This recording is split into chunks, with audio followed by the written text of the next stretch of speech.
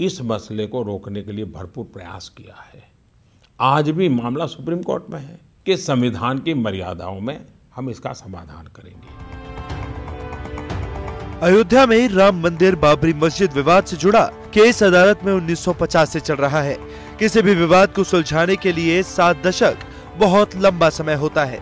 सत्तर साल में पीढ़ियाँ बदल जाती है, लोग बदल जाते हैं, और तो और देश की सियासत भी बदल जाती है। लेकिन इस देश में राम मंदिर विवाद का कोई हल आज तक नहीं निकल सका है। सुप्रीम कोर्ट के मुख्य न्यायाधीश रंजन गोगोई के नेतृत्व में तीन नए जजों की बेंच इस मामले पर 4 जनवरी को सुनवाई करेगी। कोर्ट में इस मामले में सुनवाई कब होगी, इस पर 4 जनवरी को फैसला होगा।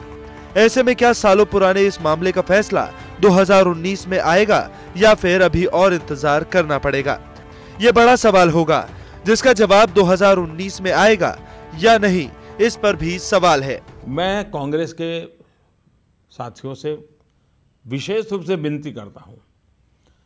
देश की शांति, सुरक्षा, भाईचारे के लिए आग्रह करता हूँ कि वे उनके अपने वकीलों को कोर्ट के अंदर इस मसले में रुकावट डालने वाले एजेंडा से बाहर निकालें, रुकावटें न करें और सभी वकील मित्र जो भी कांग्रेस से जुड़े हुए हैं, जो इसको इसको रोकने के लिए कोशिश कर रहे हैं वो भी कोर्ट में जाकर के जल्दी से जल्दी न्यायिक प्रक्रिया पूरी हो, उसमें हम बल लगाए। बता दें कि अयोध्या राम मंदिर बाबरी मस्जिद की ज़मीन के मालिकाना हक को लेकर चल रहे विवाद लंबे समय के बाद इलाहाबाद हाईकोर्ट की लखनऊ बेंच ने 30 सितंबर 2010 को फैसला दिया था।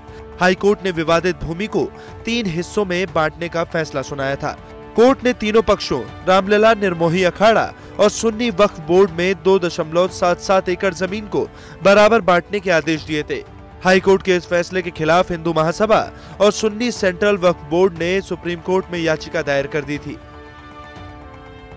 इसके बाद से अयोध्या राम मंदिर बाबरी मस्जिद ज़मीन के मालिकाना हक का मुकदमा सुप्रीम कोर्ट में अटका हुआ है।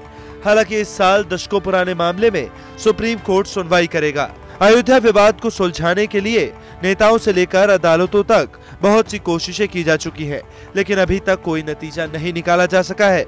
ऐसे में सारी उम्मीद सुप्रीम कोर्ट से लगी है। इस मामले के फैसले के लिए चारों ओर से आवाज़ उठ रही है। जो भी फैसला कोर्ट करेगा उसको मानना पड़ेगा। क्योंकि हिंदुस्तान में अगर नागरिक हो तो कोर्ट की बात मानना पड़ेगा ना ऑर्डिनेंस ना कानून, क्योंकि कानून बने हुए हिंदुस्तान जब आज़ाद हुआ तो उससे पहले से भी कानून बने हुए और हिंदुस्तान के आज़ादी में पूरे कानून मुकम्मल हैं, जो कोर्ट फैसला करेगा, चाहे वो जिस जात का हो, कोर्ट का फैसला मानना पड़ेगा। इस धर्म संसद में संत धर्माचार्य जैसा निर्णय लेंगे, उसका पालन विश्व हिंदू परिषद जो है एक तंत्र के रूप में करेगी, और संत धर्माचार्यों के आदेशों का जो है लगातार पालन करती रही है, राम भक्तों के इस आंदोलन को लेकर चलती रही है, जो उनका आह्वान है, उसको पूर्ण रूप से उसी प्रकार से किया जाएगा, जिस प्रकार से वो करती रही है। दरअसल ऐसा माना जाता है कि साल 1528 में अयोध्या में एक ऐसी जगह पर बाबरी मस्जिद का निर्माण किया गया, जिसे हिंदू भगवान राम का जन्म स्थान मानते हैं।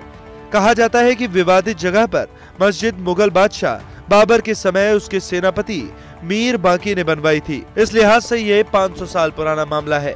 पहली बार आज़ादी के बाद 1950 में ये अदालत पहुँचा। इसके बाद से अभी तक फैसले का महज इंतज़ार हो रहा है। ऐसे में मामला देश की सबसे बड़ी अदालत में है और सुनवाई की तारीख भी नए साल के साथ दस्तक दे रही है।